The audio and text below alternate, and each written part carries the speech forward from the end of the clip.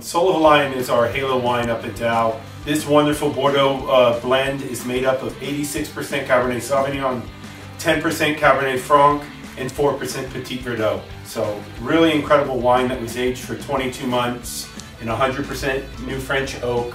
Daou is at the highest elevation in Paso, but we really hit home Bordeaux varietals and this is our specialty.